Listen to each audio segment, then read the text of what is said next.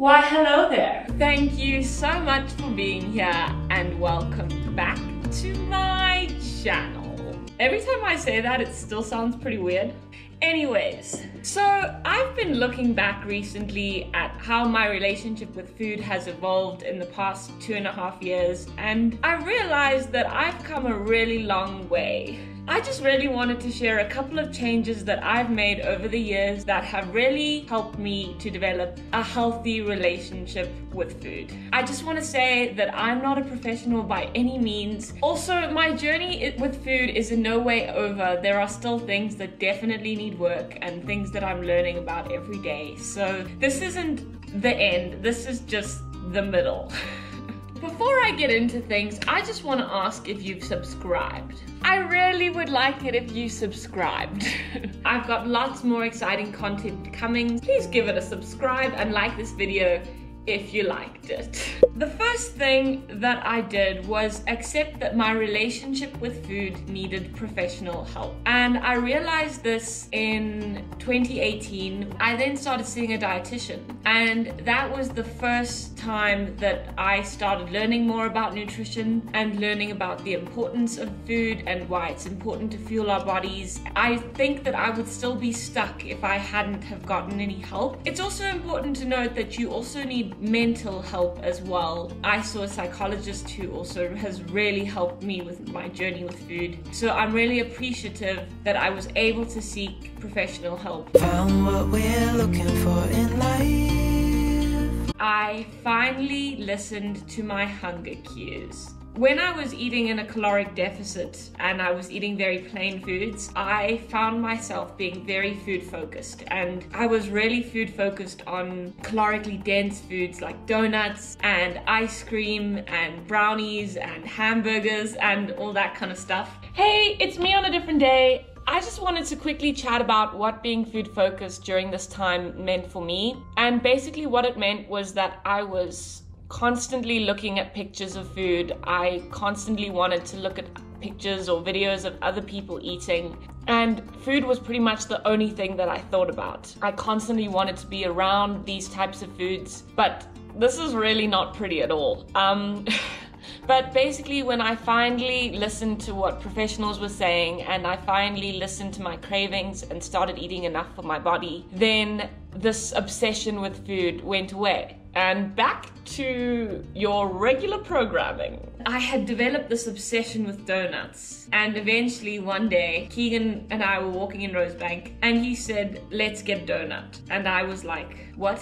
You can't just go and get a donut when you feel like getting a donut. And it turns out you can. If you want a donut, you can go and eat a donut, and it's great. So after that, we would go and get a donut every single week until donuts weren't that exciting to me anymore and it was pretty cool. Change number three was that I realized that I needed to be my own cheerleader. When you have a strained relationship with food, things that seem normal to other people might feel like a really big deal to you. I learned that I needed to stop looking at other people for approval and just take the time to be proud of myself and to realize how far I'd come with my relationship with food. For example, one day I might say, Hey Bridge, I noticed that you had a whole pizza last night. Yeah, I did. Oh my soul, I'm so impressed. Normally you would feel so guilty about doing that. I know, but it was just such a normal thing. It really didn't bother me. Good job, self.